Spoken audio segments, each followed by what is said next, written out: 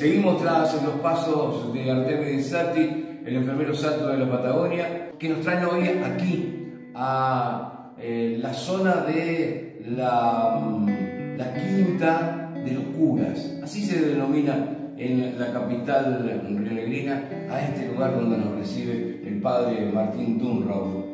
Eh, hola padre, ¿qué tal? Muy buenos días. ¿Cómo estamos? Para otros será algún momento. Sí, señor. Bueno, 57 años este, de sacerdote. De sacerdote cumplí el 14 de agosto. ¿Y dónde estamos acá? Ahora estamos acá en lo que era la, lo que vos dijiste recién, mm. lo de la quinta de los curas.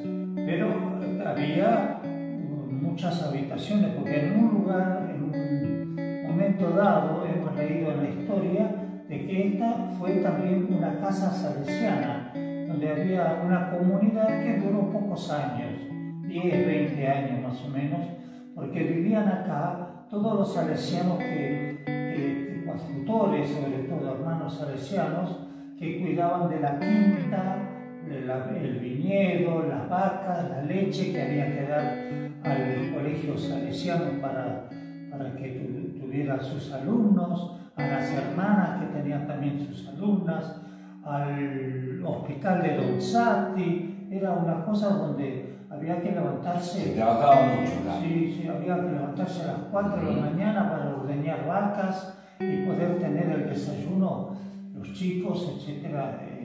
Y aquí estamos, en, en, esta, zona este lugar donde, donde murió Gonzalo. ¿Esta es la habitación donde él falleció? Sí, sí, donde falleció es más cercana al lugar donde vamos a ir ahora. ¿Y este delantal era de Santi? Este era un guardapolvo que él usaba cuando era el profesional de la, del enfermero, digamos. Sí. sí. También es muy importante este reclinatorio, aquí se arrodillaba para rezar, no en este lugar, sino que lo tenía en otro lugar, porque él más o menos murió en este lugar. Por aquí. Por aquí. Y pero por ahora, como tenemos todo armado de otra forma, hemos hecho de allá adentro, pasamos, pasamos, pasamos, sí, pasamos. pasamos recorremos lo que sería la habitación de Artemio de Sati. Sí, lo que sería su habitación. Aquí está incluso los regalos que le hacía, porque hay una, una A y una Z tan lindas que, que, lo hacía la gente que le donaba sus cosas. y Yo abro la ventana porque esta ventana se debe ver asomado él más de una vez. Más de una vez, sí con paciencia. Era esta ventana, porque se puso después, más grande. Pero digo, era, con la, algo que lo caracterizaba al hombre tan bueno, que era, su paciencia. Bueno, contanos, ¿tenés algo para contarnos de la paciencia? Yo lo, de la paciencia quisiera contar lo siguiente. Vos sabés que hace muchos años recuerdo que un sacerdote me habló de la paciencia de Don Santi. Fui a buscar la palabra en internet y me encuentro de que la palabra paciencia viene de patos. Patos quiere decir el que sufre, el que está enfermo, la enfermedad. Tanto que nosotros decimos, cuando hablamos de las enfermedades, hablamos de la patología. Tiene una enfermedad u otra. Entonces Don Sati, cuando ya estaba hacia el final de su vida, estaba consciente todavía, ah, le, pasaba, le pasó lo siguiente, según me contó este sacerdote, que ya falleció. Eh, yo voy a dar otro nombre de la persona que participó en esto. Ese sí lo conocí, lo traté. Eh, le voy a, lo voy a llamar Mario. Está bien. A este hermano coadjutor, el cual le hacía la contra permanentemente a Don Sate. Ah, caramba.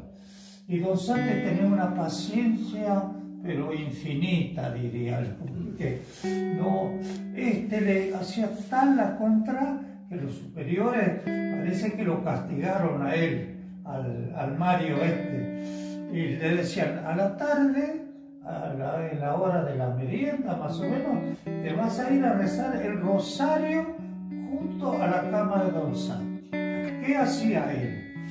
Don Sati estaba allá y él se sentaba y de espaldas se sentaba para hacerle la contra y rezaba el rosario mirando para el otro lado. Y Don Sati se lo aguantaba todo. Ahora, ¿qué pasó? Cuando muere Don Sati, es el primero que pegó el grito. Murió un santo. Guarden todo, saquen la sábana, saquen la, la, funda, saquen todo, guarden todas las cosas que él tocó, porque ese va a ser santo. Entonces, me impresionó mucho lo que ese sacerdote me contó. Quizás no le estaba haciendo la contra, lo estaba cuidando. Y, y, le hacía la contra, parece que a propósito, para probarlo a ver si realmente era un hombre paciente, digamos. Y lo era. Y lo era, y lo demostró con su vida. Martín, gracias por la paciencia de atendernos. Muchas gracias. El padre Martín otro salesiano, otro ejemplo en la Patagonia. Bueno, gracias. Y gracias a la Municipalidad de Viedma, al Gobierno de la provincia de Río Negro, a la Asociación de Empresarios Hoteleros y Gastronómicos de la Zona Atlántica de la provincia de Río Negro, a la Cámara eh, Minera Rionegrina, eh, podemos seguir produciendo estos trabajos